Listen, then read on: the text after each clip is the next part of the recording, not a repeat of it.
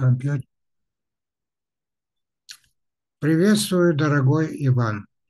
Представься, пожалуйста, для всех. Я-то тебя знаю хорошо, а участники школы нашей тоже познакомиться. Мгм. Скажи, пожалуйста, что ты будешь говорить? Да, добрый вечер, Хасан Магомедович. А, Приветствую всех зрителей канала.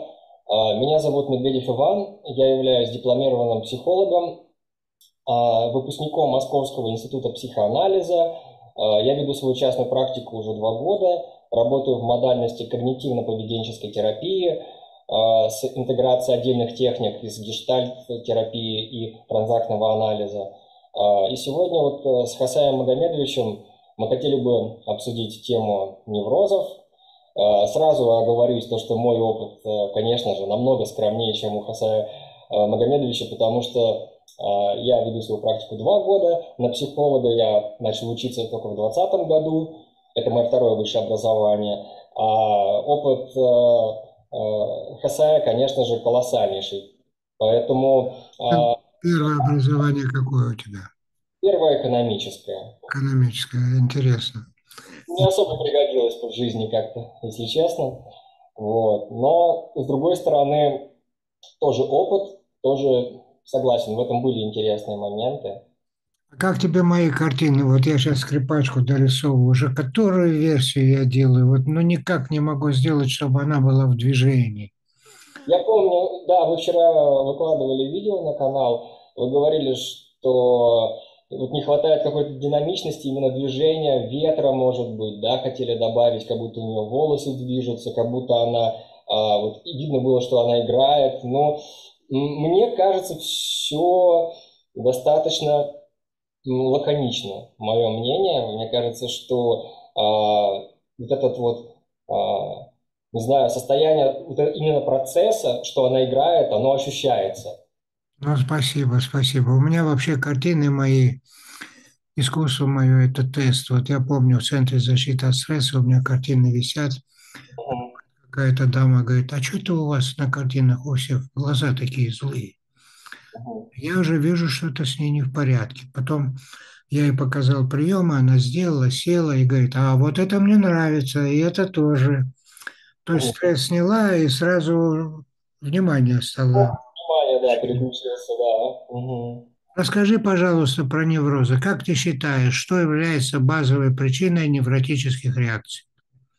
Ну, начну, наверное, с того, что невроз в данный момент, если мы опираемся на МКБ-10, да, и, э, то такого понятия уже не существует. Сейчас это актуально называется как невротическое расстройство. А, И а, хотя сам термин неврозов, насколько я знаю, он достаточно древний, по-моему, из 18 века а, он берет свое начало. И в целом причины могут быть абсолютно разные. То есть что это означает невротическое расстройство и невроз? Чем это отличается? Но по сути это одно и то же. То есть это просто э, невроз как устаревшее название невротического расстройства. В данный момент э, в классификациях принято вообще все называть какими-то расстройствами. И А, многие имеется в виду, что человек-то нормальный, просто у него есть недостатки некоторые, точки роста, которые надо, как говорится, откорректировать, да? Да, конечно. А, Тут э, причины, на самом деле, появления неврозов могут быть а, абсолютно самые разные. И а, тут, э, опять же, могут чаще всего это внутриличностные конфликты, вот на моем опыте. То есть это повышенные требования к себе, когда человек, может быть, э, не понимает, что он сам от себя требует достаточно много. И может быть, были родители очень требовательные, обесценивающие, да, а, которые заставляли его перепроверять по 10 раз какие-то а, дела. Там. То, чтобы хорошо учился, да, чтобы старательный был, да? Ну да, да, в том числе и это. И Не, вот не не хвалили за хорошие поступки, а только ругали за плохие какие-то отклонения, да, такие. А в угол тебя ставили когда-нибудь? меня, вот Я, честно, я помню, я стоял в углу и думал, вот умру, вот узнаете. да, да, Когда я маленький был, да. Слушайте, я припоминаю такое, да, ставили, но, по-моему, это было даже э, мной воспринято как какая-то ерунда, и я, я даже посмеялся про себя. Что за, чем я занимаюсь сейчас, условно? Вот. А, то есть я не ощущал какого-то наказания в этом. Мне казалось какая-то... А я тоже не, не ощущал, надо же было стоять и не двигаться, и не выходить из этого угла. Вот это же как бы ограничение свобод. Угу. А у меня хороший И вопрос. обида, и обида, за что это меня тут поставили? Угу. Ну, я понимаю, да. Тут, в принципе, на это и расчет. Многие родители и рассчитывают, что э, дети начнут себя в этот, в этот момент чувствовать некомфортно, как-то наказывать себя. Но вот мой опыт был как раз немножко другого плана, да, у меня фантазия очень хорошая. Я тогда в детстве постоянно какие-то там небольшие рассказики писал, а, и я помню, что я какие-то сценарии у себя в голове в это время фантазировал, то есть я не думал о том, что что-то там не так. Вот. В общем, был занят другими делами. А вот скажи, пожалуйста, вот по моему убеждению, которое сложилось из многих лет, я же 50 лет практикую как психотерапевт, э, как врач э, и рефлексотерапевт, вот из моих наблюдений в целом прорисовалась такая картина, что каждый человек по природе очень талантлив, творец. И когда ему не дают э, раскрыться со своим творческим началом, вот этот потенциал, мощнейший генетический импульс, э, если он не раскрывается, или человек себе не дает э, по причине, а какой толк в том, что я буду там петь, рисовать, Э, создавать какие-то проекты. А, какой толк в этом? И сам себе глушит это. И вот эта нереализованность э, вот этого мощнейшего импульса эволюционного, э, получается, у него возникают невротические реакции. Или он пить начинает, или там наркоманит, или как раз съезжает, как говорится, с катушек, начинает психовать, как говорится, у него невротические реакции возникают, всякие фобические синдромы, навязчивости и, и прочее, прочее. Я не знаю, как ты считаешь, вот с современной точки зрения, как это выглядит, то, что я сейчас говорю? Ну, вполне закономерно, конечно же. И э, я считаю, что э, когда человек не реализует свой потенциал, он тратит время на что-то ненужное. И э, очень важно найти себя и реализовать э, то, к чему э, у тебя склонность, вот, свой талант, скажем так, воплотить в жизнь. Потому что э, если человек э, не живет, э, скажем так, в хорошем смысле, да, своими какими-то интересами и, своими э, способностями, да, которые он не развивает, то он живет не свою жизнь, живет не для себя, соответственно, от этого неудовлетворение от жизни общее, депрессивный фон. И, кстати говоря, может быть изначально депрессивный фон, который влияет на то, что человек э, не, э, не в ресурсе, чтобы начать э, реализовывать свои таланты. То есть тут в таком случае, в такой комбинации есть смысл изначально поработать с депрессией, с депрессивным состоянием, да, если клиническое состояние, то назначить э, там, параллельно, да, перенаправить к психотерапевту, назначить медикаментозную какую-то поддержку. Вот. Но в целом, да, вот если мы говорим про неврозы, а, хочу немножко вот насчет склонности, да, кто именно, точнее даже не то, что склонность, первопричины вот этих всех неврозов, часто это бывает еще невротический тип личности, низкая самооценка, э, и вот люди еще достаточно тревожно-мнительные, тоже подвержены неврозам, потому что они начинают себя накручивать, додумывать, а что там, если произойдет что-то вот там такое. Вот. Плюс еще, опять же, да, если мы говорим про эмоции, которые человек испытывает во время а, невроза, это целый перечень букетов, то есть кто-то думает, ну, люди обычно, да, которые там от психологии далеки, думают, что невроз, ну, это что-то типа стресса. На самом деле, что стресс это, это как бы компонент невроза.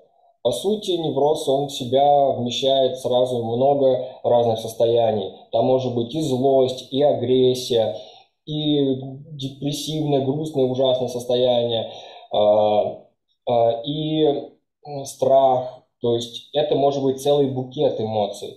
Вот. А вот э, первая причина, как мне кажется, это нереализованность э, э, данных природой способностей. А еще глубже, если пойти, это может быть родовая травма, к примеру, или, или перенесенное сотрясение мозга, там была какая-то авария, или ребенком был, упал, ударился, ушиб какой-то был. А, то есть там какие-то и физиологические такие могут быть э, причины, не только психология. Ну да, соглашусь, да, конечно. Вот а... я знаю много людей, которые родились э, ну, через кесарево сечение там, или какая-то другая родовая травма была. Они потом в жизни удивляются, почему у них что-то не так получается, а потом, когда выясняется, что оказывается, ну вот, например, я, я сам лично, а, я мучился на первых уроках в школе. Потому что если я утром не досыпал, у меня мушки перед глазами вот плавали, летали. А, я, я думал, это у всех детей, поэтому я маме об этом не говорил. А, не догадывался спросить, что со мной. Я так мучился на первых уроках, 45 минут э, урок. И таких уроков несколько, и мне все время казалось, ну когда же перерыв, чтобы подвигаться, выйти на улицу, когда же подвигаться. Я думаю, что все дети так, оказывается, не все дети так. Одни дети рано вставали, и у них прекрасное настроение, и они прекрасно себя чувствовали, а я вот мучился. Угу. Да, кажется, вот как а, никакого невроза у меня не было. Это изначально была, видимо, родовая травма какая-то. Да, да, такое тоже, конечно, может быть. А, и на самом деле, что делать-то с неврозами, когда они возникают? Техник очень много из разных подходов, да, и опять же, если мы говорим про ваш авторский метод, метод ключ, я считаю, что он очень Э, эффективен в работе с неврозами, потому что, ну, я сам часто стал прибегать, особенно в последнее время, когда мне а, как-то, может быть, тревожно или что-то еще, я испытываю какие-то неприятные эмоции. Э, часто делаю махи руками. Болтай-болтай, да? Да. Часто делаю, именно вот если я хочу в моменте снять напряжение, которое возникло. А эти делаешь вот узелки на память, вот эти и уши разминать, и, и шейный отдел вот так разминать, а, зоны Захарина Геда два-три раза в день разминать, чтобы кровообращение мозга было лучше, чтобы кислород попадал в клеточки мозга. Угу. Узелки не делаю, а шею не всегда, уши бывает делаю, да. Но чаще всего это именно... А, Шалтай-болтай, как все дети делают. Да, да, да. Вот. Потом еще есть лыжник, лыжник, э, потом это плавательные движения, потом, угу. потом движение дирижера. Ну, то есть подбирать те действия, которые совпадают с тобой в этот момент, когда ты это делаешь. Угу. Потому что из миллиона упражнений можно выбрать то, которое тебе соответствует в данном моменте, и оно сразу снимает лишнее напряжение, выходишь на состояние такое легкое, свободное.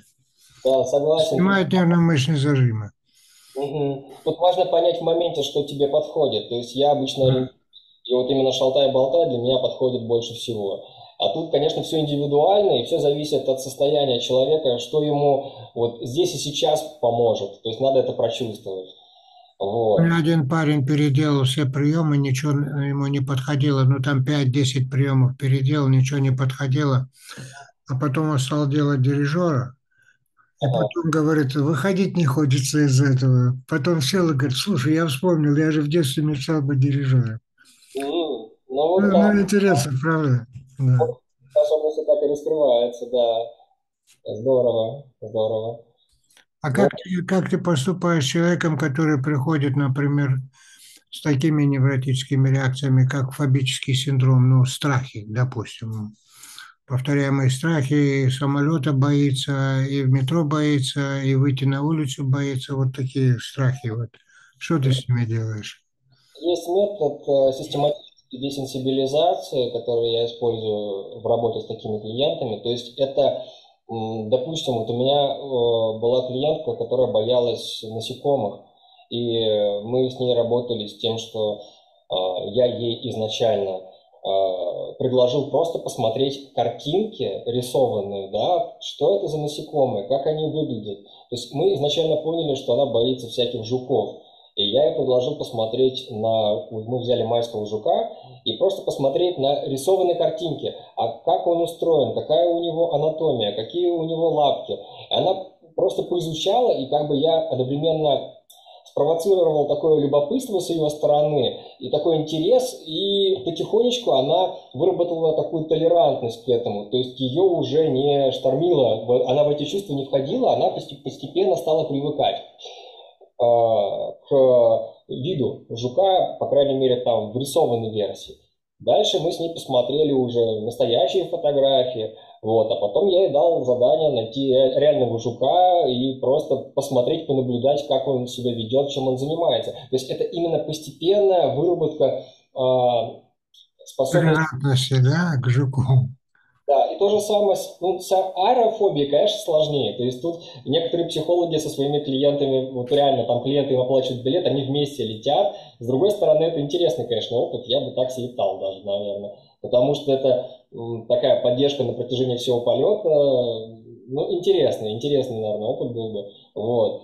Ну, а так в целом, да, тоже понимание, что, ну, тут важно озвучивать, да, что автокатастрофы те же происходят каждый день самолеты падают там раз в год условно, да, то есть э, это крайне редкое явление, если мы говорим про данный а, пример. И в таком случае автомобили есть смысл бояться намного больше. Однако автомобили люди не боятся, боятся самолетов почему-то. То есть важно на эту иррациональность указать, по сути. Вот. Ну и опять же, там тоже установки какие-то, тоже могут быть страхи какие-то глубинные из детства. Тут надо исследовать, да, откуда ноги растут. Вообще, то есть может быть это общее чувство небезопасности. Да, есть ведь люди, у которых вот эта базовая безопасность не была сформирована э, в самом начале, в детстве, там, э, в, не знаю, там, в период, когда это все происходит. То есть, ну, там как бы не то, что родители виноваты, родители на самом деле, многие считают, что в психологии принято обвинять, но опять же, им же тоже никто не дает инструкции, да, как воспитывать, как не наносить травмы. И травмы, травмы будут в любом случае. Э, может быть, не такие сильные, но тем не менее это естественный процесс. Вот. И если мы возвращаемся к теме неврозов, а то что-то я как-то отвлекся, да, то вот про фобии я рассказал, да, вот такой способ использую. А в целом вот невроз это, как правило, завышенные требования к себе, завышенные требования к людям. И когда требования не сопоставляются с, ну, скажем так, э, реальность отличается от того, как человек хочет, чтобы, какой человек хочет, чтобы она была, вот тут и возникает этот внутриличностный конфликт. И вот тут как раз-таки важно прорабатывать э, состояние человека, а, принятие какое-то, то, что реальность, она может отличаться от твоих желаний. И опять же, человек может быть требователем к себе. Не понимать, что он э, выгорел уже давным-давно на работе, а он на нее ходит, эта работа ему не приносит никакого удовольствия, но он ходит, потому что надо, потому что сам не знает, что хочет, а что, если я потеряю работу. Вот, и тут, тут много с каких ракурсов можно зайти. Я считаю, самое главное – это дать понять человеку, что то состояние, которое он испытывает, оно ну, патологическое по сути. И важно это э, самому клиенту просто такую мысль, ну, к этой мысли его подвести, и мне кажется, дальше он сам сделает какие-то выводы, когда вот это осознание появится, что все-таки, а мне же действительно некомфортно, я же действительно как-то могу, наверное, по-другому. Вот. Ну, вот как-то так, такие вот соображения на этот счет. А, если прокомментируете, буду признателен. Мне ваша обратная связь тоже очень важна. Ну, у меня немножко, потому что я всю жизнь работал с острыми случаями. После терактов, например, или готовить людей каким-то, ну, спецназу. У меня были, э, ну, такие острые ситуации, и поэтому там нет времени, и поэтому там надо быстро вытащить человека из такого состояние шокового стресса, например, после терактов, там они вот э, в таком положении, вот я ему говорю, а ты расслабься, закрой глаза. Он глаза закрывает, а у него перед глазами опять взрыв появляется. И он даже расслабиться не может. Ну, то есть там, где психологи работать не могут, потому что эти пациенты в шоковом таком состоянии стресса не слышат э, психологов. У них своя доминанта, они в ней находятся. Поскольку я чаще всего с такими работал, у меня выработалась другая стратегия. Я вместо подбора слов, что ему говорить, я стал подбирать действия, исходя из того, что ему самому хочется инстинктивно сделать. Например, он дрожит, сидит, я ему говорю, трясись сильнее. Или он сжался вот так, я говорю, сжимайся так несколько раз, сильнее, сильнее. То есть Организм сам выдает защитную реакцию инстинктивно, но на школе этому не учат, как ее использовать, и что ее надо в некоторых моментах усилить, чтобы освободиться от напряжения лишнего. А он его блокирует, потому что культура нас всегда воспитывала, держи себя в руках, ногами не дергай, плечом не дергай, э, вообще не дергайся, да, сиди спокойно, там, как у нас в школе учили – учили сидеть неподвижно, ногами не болтать, руками не болтать. При этом директивный способ обучения, чтобы внимательно слушали педагога. А потом этот принцип, он формирует вообще шаблонное мышление, не, не, не способность быстро искать свои решения, неординарные, а шаблонизирует мышление. Это такая школа вот массовая. Ну, это, конечно, хорошо, когда человек научится держать себя в руках. А, но бывают случаи, когда сил не хватает э, себя в руках держать. И, например, он несколько суток не спал нормально. Не спал. Или перелетел из одного города в другой город. Там часовой режим, там климат другой, там все другое. Адаптационный механизм. Надо время какое-то, чтобы он э, привык к тому ритму жизни. Ну, в эти моменты я вот с такими людьми работал. Поэтому я придумал подходы немножко отличные от того, что ты говоришь. Э, я сразу ему предлагаю делать то, что организм инстинктивно просит, усиливать это, и когда он несколько раз это делает, а если он не знает, что организм просит, я ему предлагаю несколько вариантов и говорю, что тебе из этого больше всего сейчас подходит. Он говорит, вот это мне хочется сделать. Ну, вот это и делай. То есть вместо старого принципа «повторяй, пока не получится», старый принцип школы, традиционный, для массового обучения – делай, пока не получится, повторяй, пока не получится, пока у тебя автоматически не будет получаться. Например, букву А писать. Ты сначала сильно напрягаешься, но когда ты много раз повторяешь, ты уже делаешь на уровне навыков, то есть у тебя появляются в нейросети новые связи, и ты на автомате делаешь. Ну, это один подход, старый, традиционный, степ-бай-степ, шаг за шагом. А у меня другой подход. Э, принцип подбора путем перебора. Я ему предлагаю несколько вариантов, подбирай то, что тебе подходит. Он нашел вот это подходит и это делает, и стресс снимается, и он начинает восстанавливаться. Ну, я, я так, вот у меня в школе все этому обучаются, чтобы быстро стресс снимать. А еще у нас обучаются использовать энергию напряжения стресса, когда человек в стресс попадает, чтобы он сразу понял, куда его перенаправить, например, на, на дорисовывание картины или до решения какой-то задачи, которая висела, он никак решить не мог.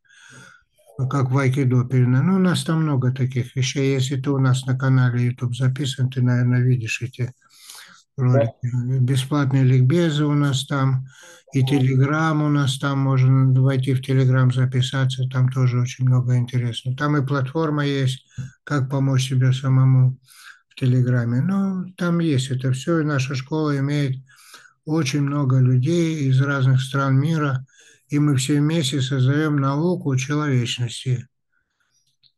Да, вы говорили недавно. Да, вот это что интересно для невротиков. Это же для невротиков, э, это как раз-таки Дело в том, что сейчас, ой, как это интересно, вот, например, Чиксен Михаил говорил, что после Великой войны, которая была раньше, он там 50-60 лет переписывался с людьми, которые считают, что они нашли смысл в жизни. А, и оказалось, что это все-таки их творческие способности.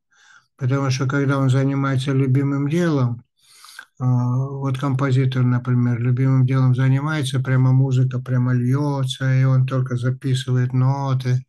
Ну, когда он попадает в, этот, в это состояние, а я как раз учу попадать в это состояние, и из этого у меня много невротиков, очень много, тысячи, тысячи невротиков. Они висят у меня на бесплатном ликбезе, это вот я провожу такой регулярный бесплатный ликбез. В Zoom выходят, и я говорю, кто чувствует себя хуже всех? Ну и какая-то дама говорит, я вот спать не могу, или там меня все время там знобит, или я не могу сосредоточиться, или вот жду все время сигнала тревоги. Я говорю, ну давай, сделай вот эти упражнения, я ей подсказываю, все смотрят и одновременно учатся. Ну вот у меня такой подход.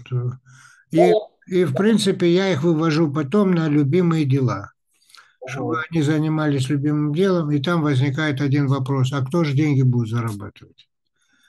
Да. Если я буду заниматься тем, что мне нравится, а кто меня кормить будет, мою семью кормить и так далее. То есть вот это противоречие между любимым делом а, и надо заниматься тем, чем надо заниматься, а не, не только тем, чем хочешь заниматься. Вот как решить это противоречие? Вот сейчас мы начинаем, сейчас будем ряд ликбезов делать, воспитывать эти качества, чтобы человек мог превращать любимое дело в источник своей жизни, в источник выживания и жизни, да. Очень важная тема. Э, очень здорово, что э, э, такая деятельность, такая возможность существует, люди обращаются. Очень ценно. И интересный э, ваш подход в том плане, что э, я чувствую в нем именно э, что-то вот э, совершенно нестандартное, такое, что-то вот э, новаторское, потому что такого не было. Ну, опять же, Хасан Магомедович, вы как психотерапевт э, рассматриваете определенные процессы, с, э, вот смотрите на вещи э, через призму, да, вот каких-то интересных процессов, даже вот связанных с гипнозом. Помните, мы в прошлый раз на каком-то видео вы рассказывали про э, Бехтерева, что он какую-то свою, э, скажем так, миссию выполнил в этом мире, да, что он э, какие-то, э, какой-то э, импульс задал, да, и вы э, немножко дораскрыли эту историю, да, немножко поняли, что что там за этим стоит. Я сейчас так рассуждаю, потому что я немного не про это. Мы с вами, да, видите, у вас своя область, у меня своя, и в то же время мы можем одновременно пообщаться на какие-то общие темы, которые э, так или иначе э, у нас появляются в рамках нашей работы. Ну, конечно, ну, например, вот я уже понял, я с острыми работаю, с такими кризисными ситуациями. А ты, я, я так понял, ты можешь вести э, тех, которые давно находятся в каком-то таком сложном положении. И ты с ними можешь что-то прорабатывать, да, вот что-то прорабатывать или как-то. Вот как ты вот берешь своего пациента или клиента, как он у тебя называется? Называется клиент, пациент, это все-таки это у психоаналитиков, да, и у в медицине, да, сейчас пациента, а вот э, конкретно я работаю с клиентами, и э, работа моя строится на основных принципах, то есть это э, работа с мыслями, с чувствами человека, с его э, действиями, которые он совершает, и, конечно же, через все, через это мы подходим к каким-то базовым установкам, которые у него есть, которые были в него заложены еще в детстве, изучаем, комфортно ему с ними, нет, от чего можно отказаться, с чем можно остаться. Э, ну, я работаю часто с тревогой, вот как раз таки, да, тема тревоги для меня очень актуальна. Тревога, фобии, э, депрессивное состояние, э, прокрастинации. Вот. И как бы тот подход, в котором я работаю, когнитивно-поведенческой терапии, он как раз в данном контексте очень эффективен. В принципе, как говорят, ни один КПТшник э, не, э, не забывает упомянуть, что когнитивно-поведенческая терапия считается сам, ну, имеет самую большую доказательную базу. Вот, такая шутка ходит у нас. Вот. Но, наверное, в этом есть э, доля шутки, доля правды, но... Давай мы так сделаем. Ты свой напиши какой-то адрес или что, чтобы кто-то захочет у тебя посоветоваться или проконсультироваться, а, к тебе обратиться, ну, чтобы он знал, куда обращаться-то. Хорошо, хорошо, да. Я... Напиши, мы там поставим под видео твой адрес, чтобы были там у тебя в каком-то канале или куда тебе звонить. Мы поставим, а сейчас я попрошу всех участников, которые смотрят нас, пожалуйста, напишите вопросы Ивану, как психологу, который занимается разными случаями, а, напишите вопросы, которые вы хотели бы, мы в следующий раз с Иваном договоримся, еще одну встречу сделать, и он ответит на эти вопросы, а вы их напишите. И там под роликом будет его координаты стоять. Спасибо тебе, Иван. Спасибо вам, Хасай Магомедович, очень благодарен. Спасибо. Спасибо подписчикам. И всем желаю удачи и гармонии. Спасибо, до встречи, до встречи.